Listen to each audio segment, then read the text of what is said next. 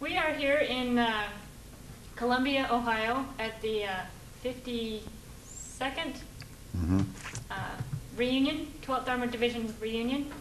I'm here with uh, Robert Payne. Do you prefer Bob or? Bob's fine. Okay. Um, my name is Michelle Colvin. It is August 30th, and uh, let's get started. Um, first off, why don't you just tell me where you were raised um, and when you were born? I was born in Baltimore in 1921, April 13th. Baltimore, that's Maryland. Yeah.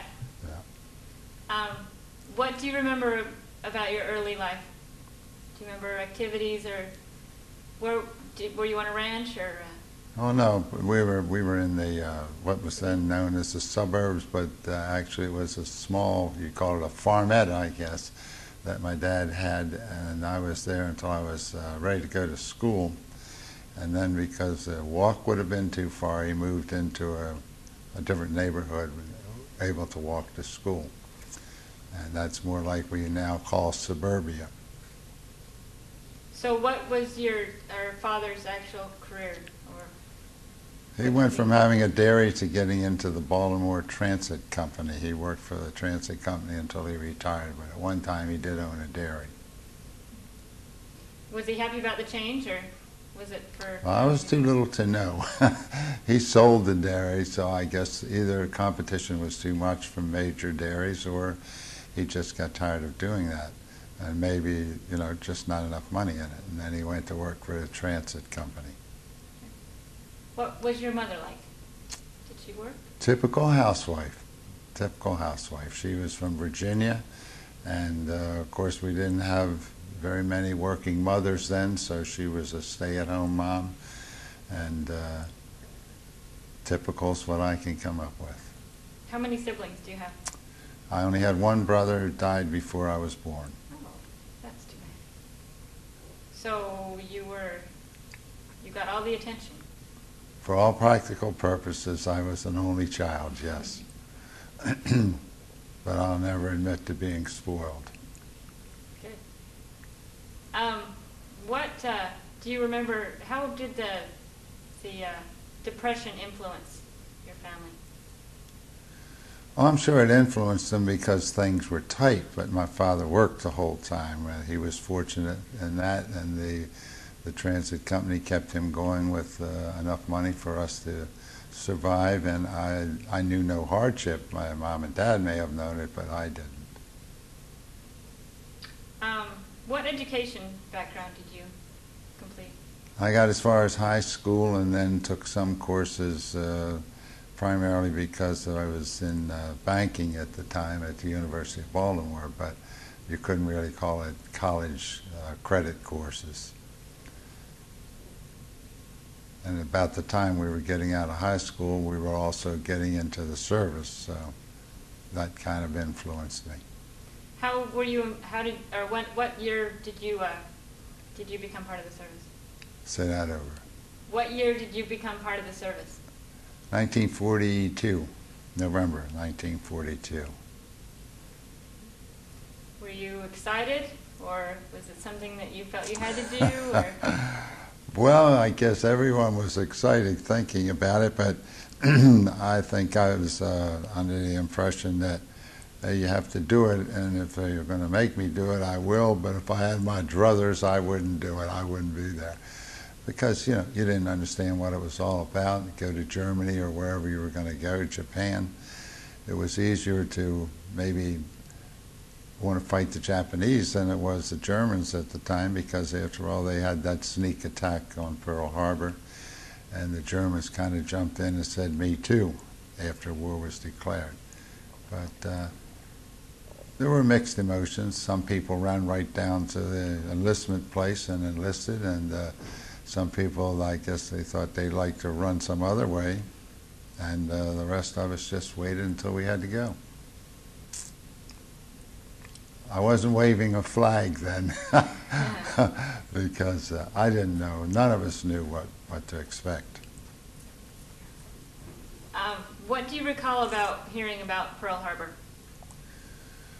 Well, I can vividly remember that because it was on a Sunday afternoon, and Sunday afternoon was a rest time, And I think I had actually fallen asleep on the sofa listening to radio, probably the Washington Redskins or something. And I woke up when the announcement came on.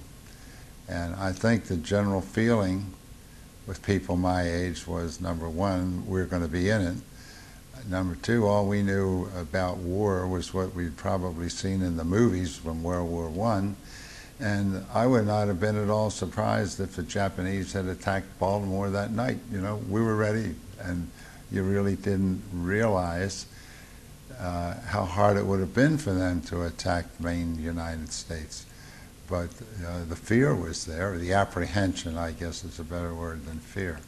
So that's how we were. And then, you know, as time went on, and President Roosevelt gave his famous speech and said, well, the only thing we have to fear is fear itself, and it kind of calmed us all down, and and we uh, settled down to do what we had to do. Um, was your father involved in World War One? No, he was too old. What was his impression of it? Do you remember? Of World War One or World War Two? World War One. He didn't talk about it. Uh, he was he was too old to get in it, and uh, I really don't recall ever hearing him speak about it. Of course, I like all the kids. I asked him if he was in it, and he told me no, and that was the end of it. Um, so you got drafted, and where did you head to?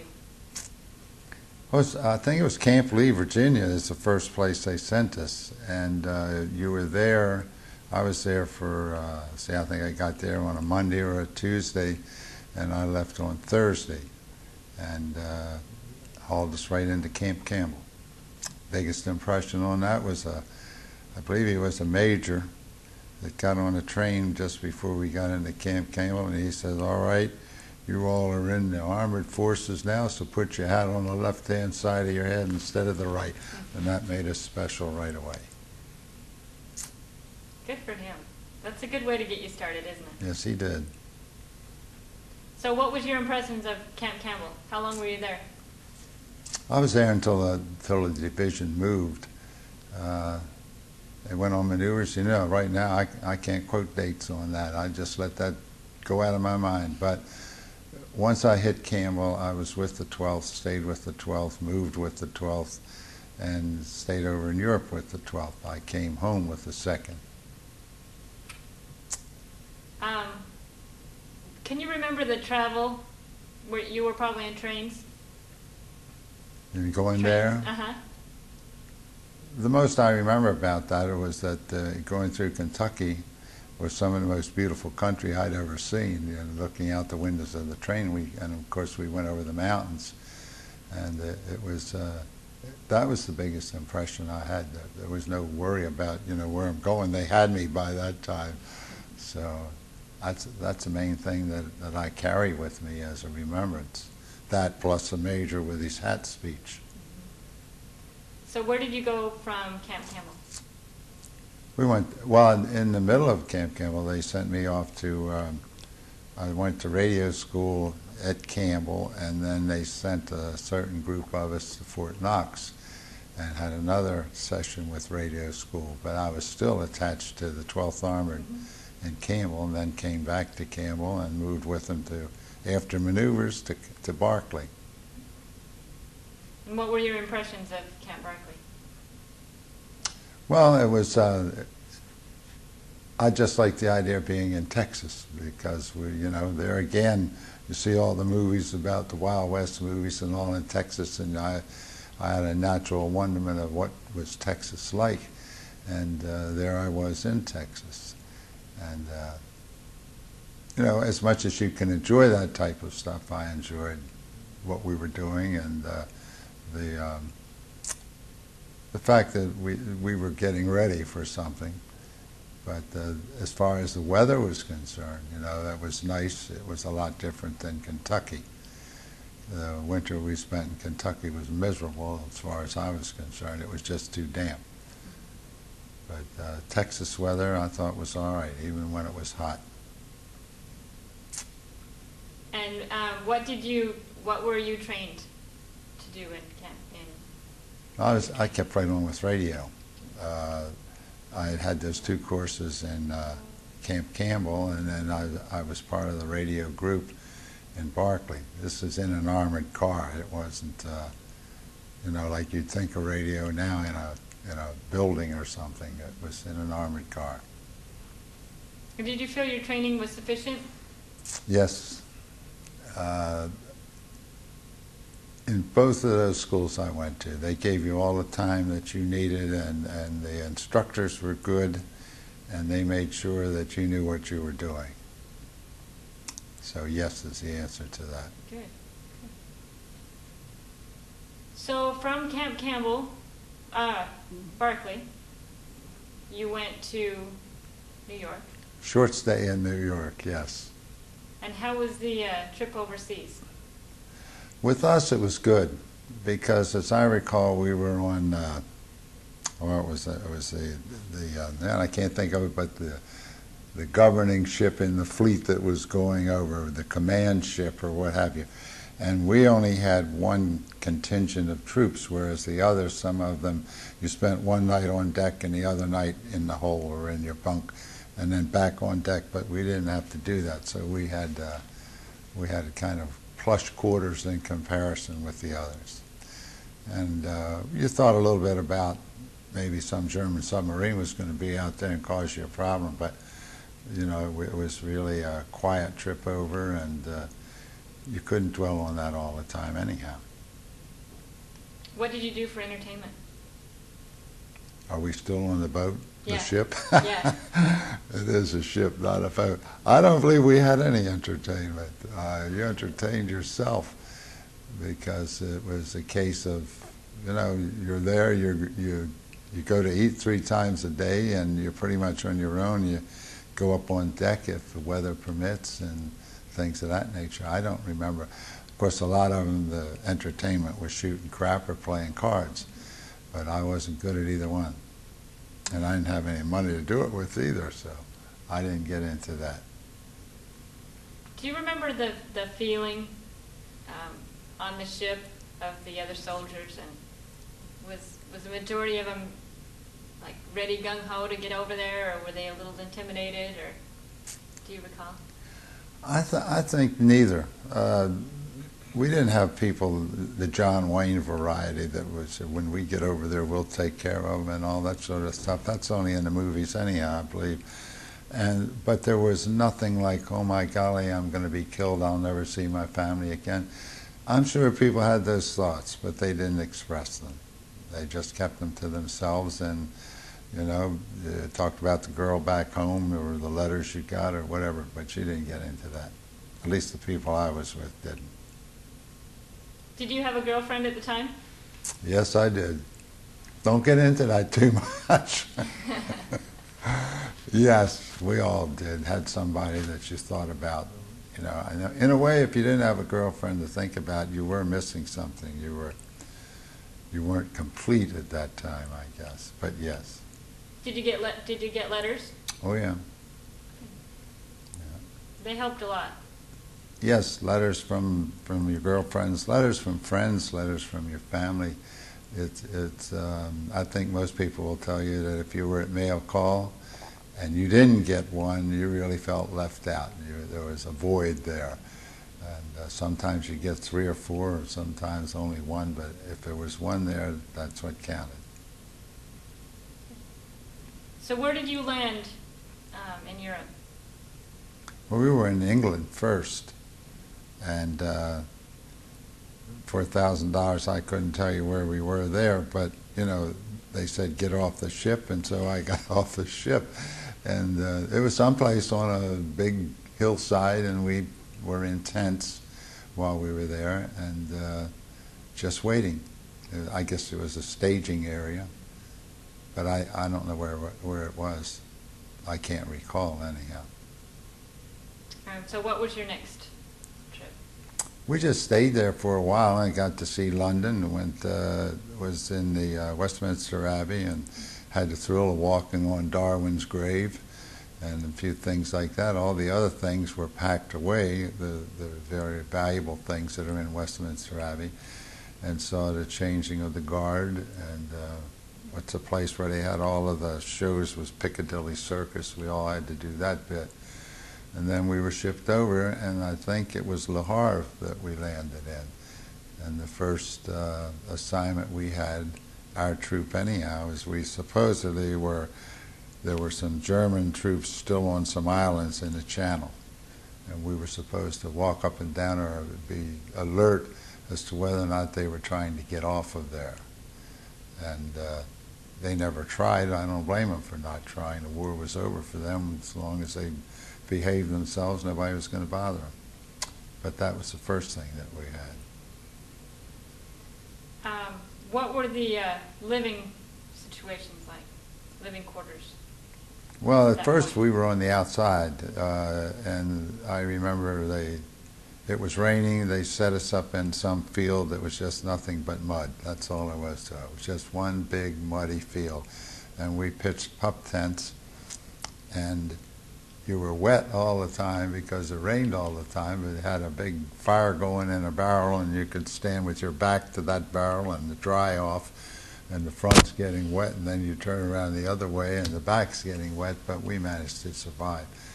And uh, we were fortunate because somebody in the, you know, put the two pup, pup tents together, you're holding four. And somebody went out and found some wood, and we put the wood down on the ground, and then the blankets and all on that, so we were reasonably dry, whereas some of the others weren't. And the ones that weren't Boy Scouts forgot to dig a trench around that pup tent so the water came in. But I was a Boy Scout, so we had a trench, and the water didn't come in. That was when we first got over there in, in Europe, uh, you know, France. Um, what is the next uh, experience you can remember after leaving there? Well, I guess it was when we started, and uh, we were moving towards uh, what would be the front line. And uh, there again, you didn't know what to expect. And my impression of it at that particular time was when they said, All right, you're going to go into combat, that we'd go and we wouldn't stop until somebody surrendered or you got shot or something happened, that you just keep on going. And I was really surprised when they pulled us back. So we were reconnaissance, we went out, and I guess we found what we were supposed to find, and then they pulled us back. And That was both good and bad because you felt you were ready to just keep on going. And then they let you come back. And then you had to get ready to go again. And then they were, and then you were saying, "Well, come on, let's take us back," you know. And it uh, it played a sort of a, uh seesaw with your emotions uh, on that type of thing. But that's how they did it, and after a while we got accustomed to that. Because we just didn't have enough heavy armament to go ahead and stand up against German tanks at all. In a way, it was find them and run. We got good at that. Um, do you do you recall your the first battle that you came across? Well, the first under fire, rather than the first battle, and that was the very first day that we were committed to to uh, combat, and nothing happened close to me, so I was fortunate. But uh, frankly, I didn't know what was going on. I, they said we're going to drive down here, and they tell the driver to drive, so he drove. I was part of what he was driving, so I went with him, and uh, that that was the beginning. And then the, uh, for some reason, right after that, not too long after that, because I was in radio, they had, there must have been someone else with me from the troop, but I was assigned to one of the combat commands as a radio operator. And uh, I guess I was there maybe one or two days and taking messages from the outlying units into the combat command headquarters. And uh, I'll always remember the first message is we were under counterattack and we needed help. This is the message as it came in. And I gave it to some officer in there and they got things squared away, but that was my big message. Then they took us back, took the, they, I guess they gave up on that and, and I went back with the, with the unit. And um, explain how the how um, the orders came through. Explain what what you were involved with. Well, orders, as far as I was concerned, they came through from through some mysterious background there, and the lieutenant uh, that was in our armored car would go back with the staff sergeant, and they'd have a meeting with the captain and anyone else who was there. Then they'd come back, and the word I got was, "Okay, we're moving out. This platoon first, another platoon second, another platoon third.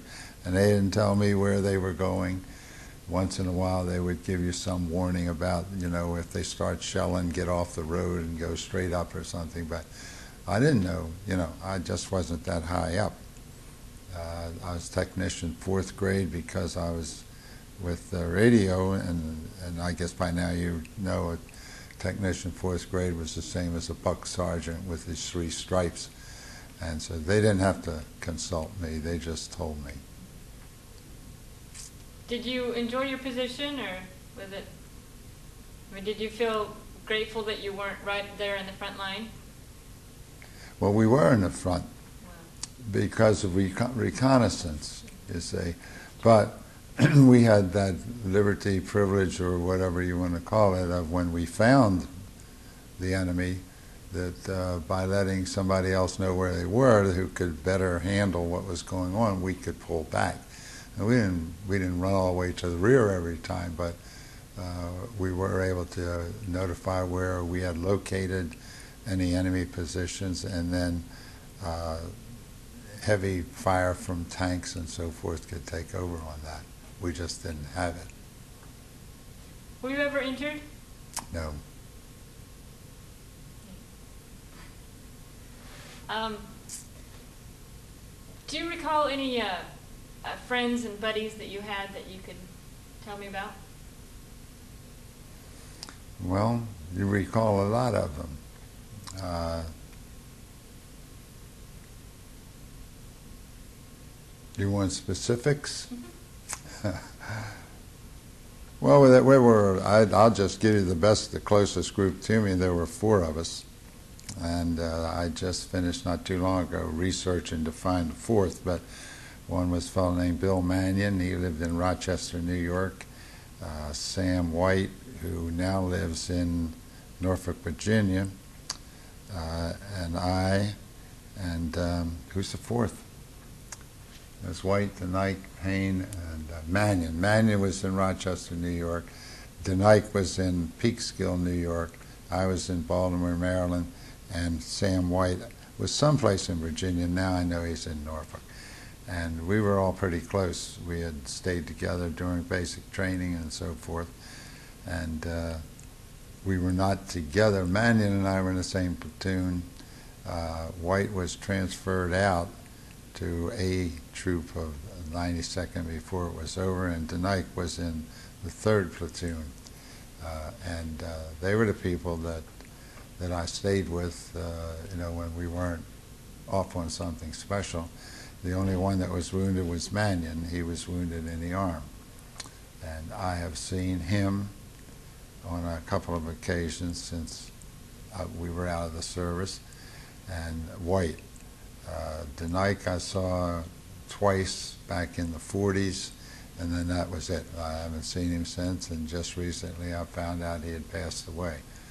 But they were the ones, and uh, when you think about the, the service, they're the ones that come to my mind first as being friends, close friends.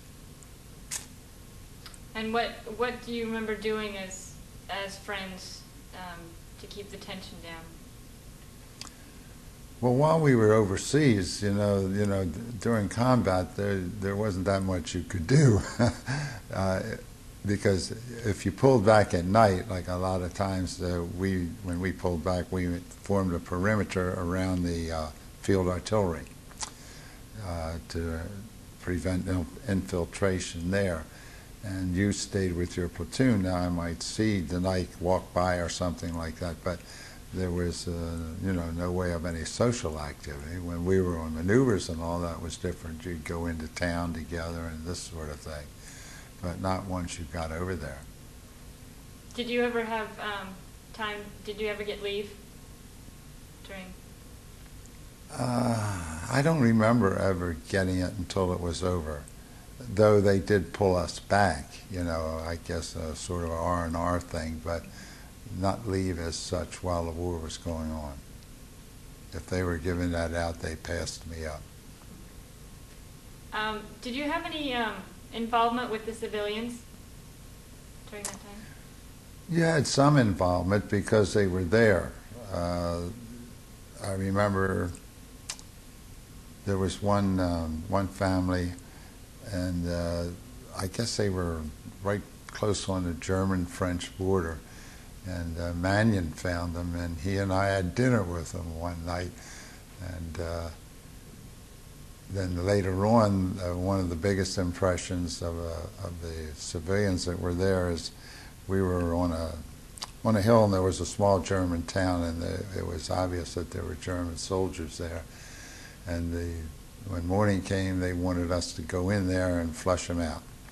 And so we started down that hillside, and off on the left, there was a farm, and there was a man and his wife, and they were the typical European German farmer type. He was a handsome guy with this white hair and a big white mustache, and she matched him with her gray hair, and I felt really sorry for them. They were both standing up out there with their hands up, and they were as nervous as they could be. And we had no more intentions of hurting them than beans, but they, they didn't know that that was going to happen. We just walked right on by them and left them alone. But then there were other stories, uh, people, German uh, women who would say, you know, that we weren't worth anything at all and that we'd probably killed their husbands. And they might have been right. But uh, outside of that, no close contact again until after the war was over. But while combat, not that much. So, um, what can you tell me about um, a battle that you that comes to mind that? Uh, well, a major one that I'm sure you've heard about now is Herrlisheim, and uh, that was the second time that they took me out of the troop and sent me up to be a, a sort of a radio liaison between the front troops and the the uh, headquarters in the back. And you've heard of that waterworks, and that's where I was in the waterworks uh, with the radio. We had a cable that would run from an, arm, from an armored car a number of feet down into a basement or a foxhole or wherever you happened to be, so that you weren't a good target. And I was in that uh, waterworks with the, uh, I guess, the people who were in charge of the operation that was going on. And you knew pretty well the problems that they were having out there and uh, I spent uh, a night learning all the prayers of all the people that were with me. I learned how to say Hail Mary as a Baptist, and I'm sure if there were some Jewish prayers there, I learned those. And then they then they got us out of there the next morning. They had no more need for us because apparently we had lost at that time, and uh, they had to regroup. So they sent us back. and that was, uh, I guess, the most memorable. It always will be. Excuse me. um, tell us a little bit more about that. Um, do you remember any of the names of the of the guys that you were? Well, the two that I was with, I had a. Uh, we were in an armored car, and I had a driver, and I had uh, with me the fellow who would have been the gunner, I guess, and he was an assistant radio operator. And the driver's name was uh, Ziska, Z-I-S-K-A, and the, uh, the gunner was um, Olersik, and they were both uh, corporals, T5, which was equal to corporal. And uh, the only other memorable thing is when they told us that we could go. there was a young fellow from the infantry who was coming back, and he was obviously in shock. He didn't look like he was over 17 years old to me and uh, he asked if he could get a ride back to where we were going, any place but up, and I don't blame him. And uh, I had to pry his feet off of the seat that he was standing on when we got where we were to help him get out. He was just that tense from what had happened, and they didn't have an easy time of it. So that was the key points. That was the high points of it. Do you, um, what can you tell us about, about the, uh, the scenery that you remember um, during the battles? Do you remember seeing a lot of, a lot of wounded, a lot of um, cries or? No, it, that uh, we didn't run into that that often. Uh, of course, there were people wounded, uh, and and I saw them being carried off, and uh, it didn't affect you really when you saw a dead German soldier, you know. But when if there was an American along the side of the road, then it all became real. You know that you weren't uh, untouchable, that you were that you could suffer the same as they did. But it, it wasn't, again, it wasn't like you see in the movies. You know, you see these, these things uh, where, where the hero runs through 5,000 bullets at one time. You don't do that, and, and that, that wasn't possible there either. But uh, the first uh, dead uh, soldiers that I saw were German. They weren't American soldiers, and they were just laying on the side of the road. But it wasn't that I could look out of that armored car and see people falling left and right. Nothing like that. Um, were you involved at all with the, with the uh, concentration camps? When they were liberated, uh, we were we were in in one of the towns that the 12th Armored uh, liberated, and my knowledge of really what was going on with Hitler and the Jewish people and all was very limited. I I didn't realize until after things were almost over, but all of the the uh, Jewish people who had been liberated were coming out with the striped outfits on and all that sort of thing. And then we learned a little bit about what it was. But I remember seeing them, and they would not get too close to you because of lice and all this sort of thing. But they were obviously very happy that we were there. And it was a sad sight. But I did not go into the concentration camp. They told us not to go in there, and we didn't. But I remember the huge doors that looked like they were about twice as high as these doors here to this room and heavy doors that, that led to the entrance. And I remember standing out there and seeing that and these people milling around in, I guess, the square when we were there. That's it. Um, what did you feel about when you were learning it all, learning about it all? What, how did you feel about Well, it was an unbelievable thing that uh, man could do that to man. It, th- there was no need for it to begin with. And uh, to just try to eliminate an entire race is just unthinkable. And it still is. And the idea now that, that people are trying to say the Holocaust was in somebody's mind is unthinkable too, because it was there. There's no doubt about it. And when people try to write that off of the books now, I, I just don't know where they're coming from. What did you, how did you feel about General Patton's um, position? How did you, did you think, Well, I think Patton was probably a master of uh, tank warfare, uh, but he got a, a, a bad reputation when he hit that soldier, and he, he suffered from this blood and guts combination they gave him, you know, his guts and our blood and this sort of thing.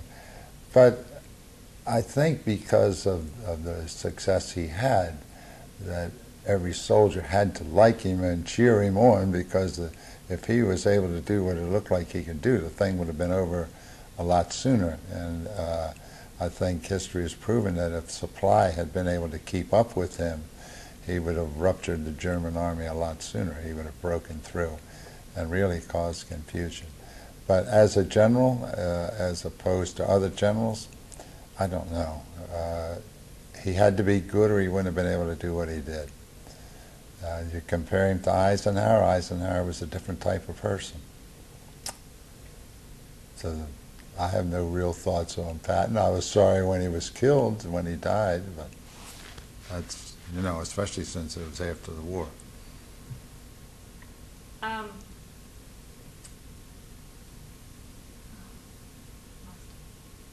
Do you remember where you were when they uh, declared the war over? I don't remember a city or a town or anything like that. I can remember what I was doing. We were in a, uh, a small, I guess it was a farm type thing because, you know, that the, over there the farm and the barn and everything just hooked together.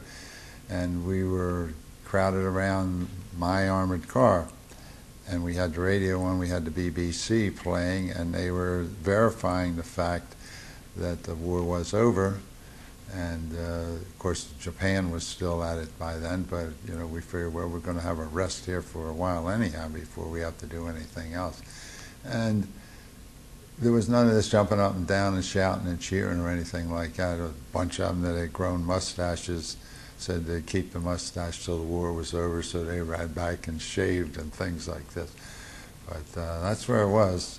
And uh, I remember that. I'll always remember that when it was over just standing there like that. And that uh, there was a woman, a German woman, uh, about the same time, and she came up to us and she said, "The Krieg is fertig. The Krieg is fertig." And I said, "Yeah." And then it dawned on me that Blitzkrieg meant lightning war, and I never knew what that meant. All I knew thought was that was an expression. But when she brought up that, and then another one said, "Oh, the Blitz," and when when there was lightning, and that's how I learned what Blitzkrieg was. Before that, I didn't know. Now, that'll get you a lot in your in your history, but that's how it goes. Um, what do you uh, do? You by chance did you hear the the local music radio stations while you were there? Radio station.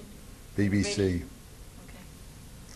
Okay. BBC is the only thing we got on. That uh, what was it? There was a, a German woman that was propaganda along with the one in Japan. One, Sally, I think, was the name of one of them. Yeah, I never heard her. Uh, she would tell you about your wife or your girlfriend back home, what she was doing. Yeah, no, but I never heard her. It was always the BBC we tried to pick up. Do you recall um, how how far in advance you you had heard that the war was coming to an end? Well, there were rumors all the time, you know, but um, I guess it was just a matter of a couple of weeks or something that it looked like that for real it was going to end. Uh, when we we received a sort of an unofficial word that the war was over, we were just about to go into the Brenner Pass, and it was snowing and it was in May, but the actual when we actually heard it, verified it, was in that little farmhouse. You mentioned earlier that that you had some involvement with uh, civilians after the war. Can you tell me about that? Oh, well, we were taking their houses. you had to have involvement with them because when we went back uh, and settled down, we were in Heidenheim, our, our troop was, and you had to have a billet. So they just displaced some of those German families and took over their homes. Uh, and we lived in their homes, and they had to just sort of bunk in with uh, whoever in the neighborhood would let them in. And of course, that made them very unhappy. And uh, they let us know about it, but there was nothing they could do about it. And uh, you never found a Nazi. None of them were Nazis after the war was over. But we could find pictures of them sitting at a big banquet table with the swastika in the background and we gave them a hard time over that. But uh, that was the main involvement. There were also, where we were, there was a Russian DP camp and a Polish. And uh, we got to know some of those people. And uh, there's no real reflection on the Polish people because I don't think they were organized. The Russians were. But the Russians got up every morning and did calisthenics and this sort of thing, and it kept them right in in the in the beat of things. And the Polish people didn't. They just got up and laid around, I guess, and until they were taken home. But it was a little bit of an experience to meet those people. And they were right there with us. And how long were you there um, until? Well, war ended in May. Uh, I think that I was at that particular spot until about September because along about that time they had to keep us busy and they had football equipment and I got on the football team and they uh, moved me into headquarters for that and then that's when they started breaking us up and I was transferred to the second armored and I was just not too far from Frankfurt on the Main is where we were with the second. Uh, so I left Heidenheim, and that's where I wa- where I was with the Second Armored. Well, tell us about your um, activities and your responsibilities in Heidenheim for that six months or so. You didn't have them. it really, really, you, you know, they uh, they tried to keep us active with with a lot of uh, activities that we liked. There was softball you could play and things of that nature, but I don't remember any. And of course, uh, one time we did. They came out and they went through the whole town, and we searched every house for any contraband material or uh, guns or anything like that, and anything that uh, signified the Nazi Party. And we were to take that out of the houses, and uh, everyone was subject to search. Though I think we used that as a scare tactic because we didn't do that, and. Uh, that was the one big thing that we had. And of course, we had to keep the vehicles in shape, routine things like that. But pretty much, you know, they they tried to keep you busy with uh, sports activities, and they had, you know, we would have lectures on health and that sort of thing, and then there would be lectures and other things. They didn't just let you lay around and do nothing, but there were no real things that you would associate with. Uh, the fact that maybe we would have been in Japan or something like that. That wasn't. Did you um, take any, acquire any souvenirs while you were there? Yes, I did. I had some great German swords and a few other little things, and I had an offer of a trip to um, the Riviera. And I financed my trip to the Riviera by selling those swords to all the recruits that were just coming over. And they thought they were great, they could send them home, and I thought it was great to get rid of them. I could go out and have a good time. The only thing I ended up with when I went home was a, uh, a Belgian 45 pistol, and maybe some little pin with a swastika on it or something like that, but nothing major. So did you, I guess you did have um, uh, passes for time off?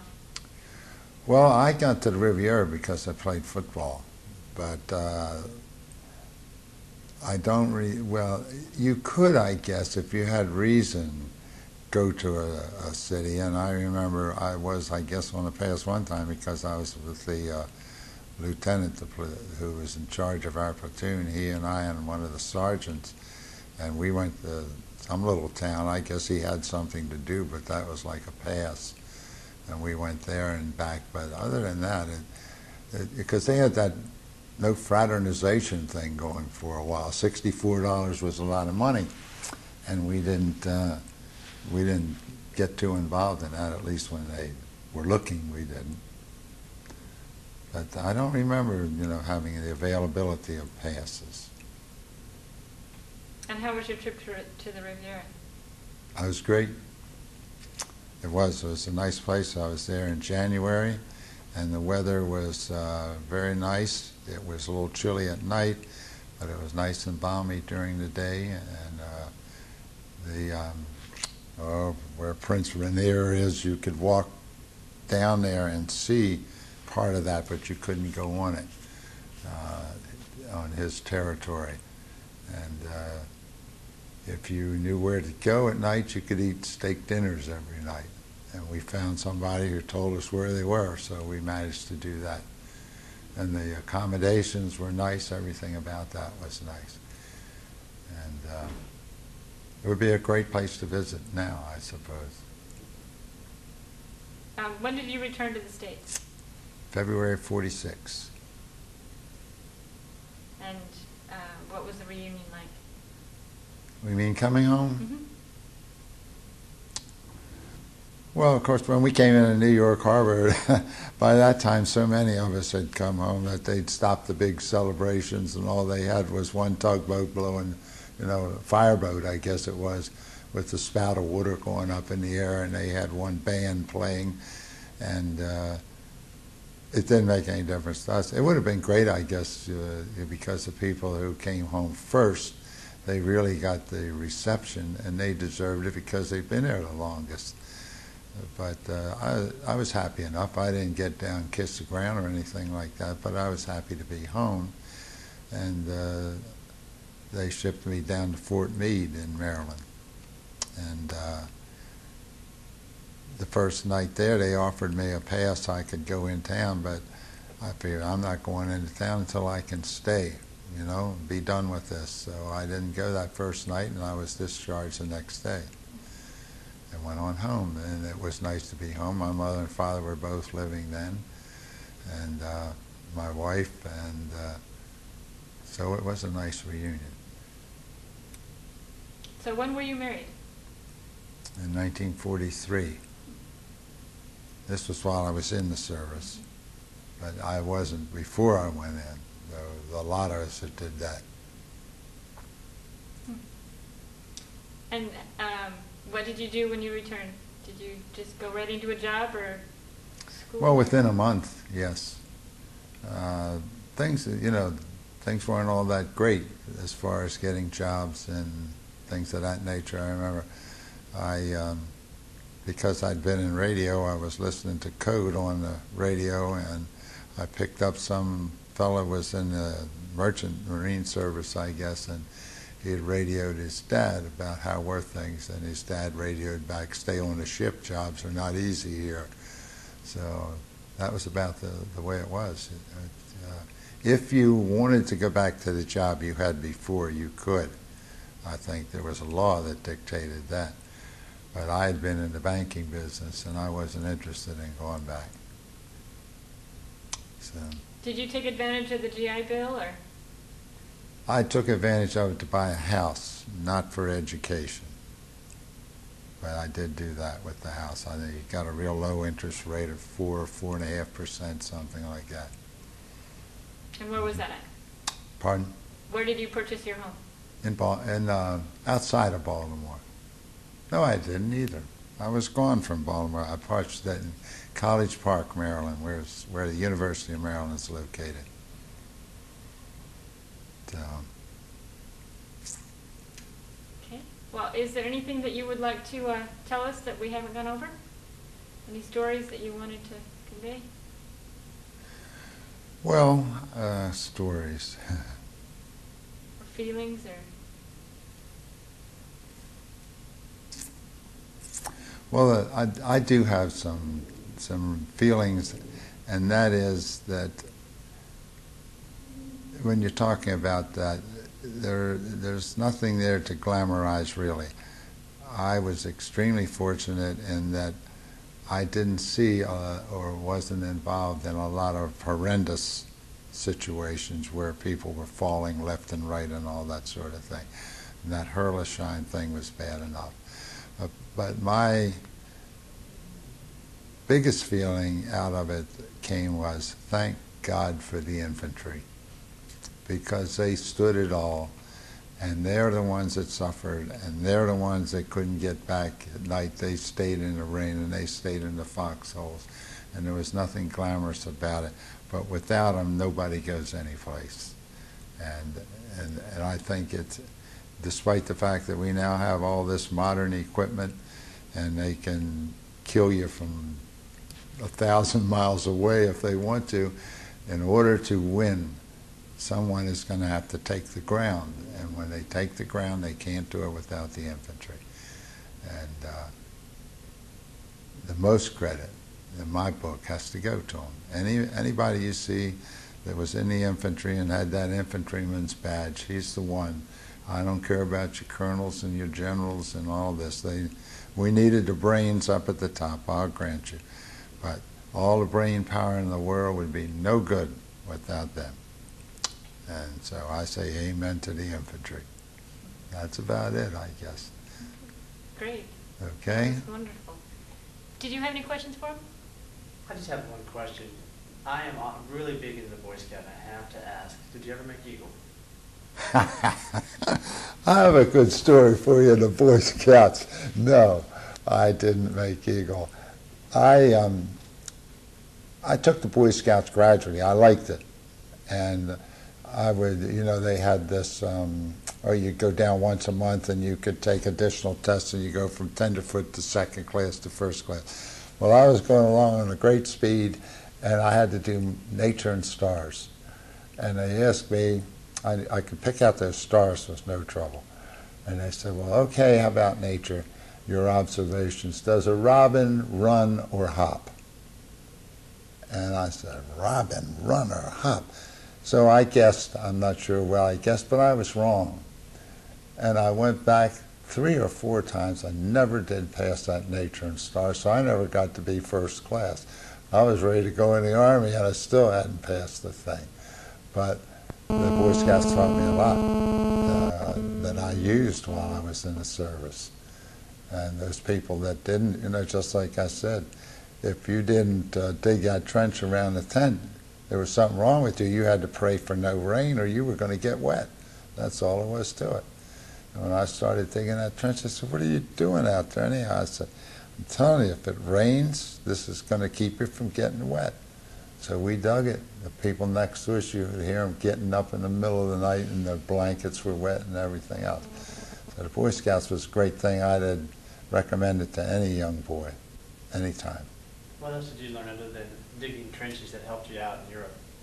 Well, you know, you knew how to tie knots. You could um, could do almost anything. And, and if you were on your own, you knew how to cook something because you had to, to do a little bit of cooking. Everything that that they did in the Scouts, I think, was helpful. It was uh, it was just a nice thing to be in, and uh, I'm sure there were other things that that I used because uh, you're living in the outdoors, and uh, you know even down to the moss on the trees always points to the north and things of that nature. And finding the Big Dipper and the Little Dipper, you're not lost. It's as good as a compass, or even reading a compass, and things like that. There were a lot of times, incidentally, going back to the service, that uh, I, I think back and I don't know how, how we found our way because they sent me back one time with, uh, with uh, 13 prisoners.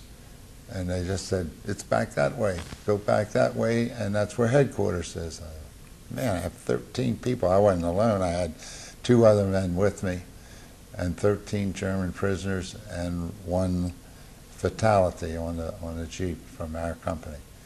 But we just hiked on off and found it, and I have no idea how we did it. A couple of times we went back like that. And you just went by a gut feeling, and that too, I think, was an awareness that you got from early training that could be attributed to Boy Scouts, to know where you are and be prepared and things of that nature. You just had to have a sense of where you were and direction. And uh, so we did. Overall, I say I was lucky. Okay? Good enough. That's good? Thank you so much. All right. And I didn't need your water, but I'll use it now.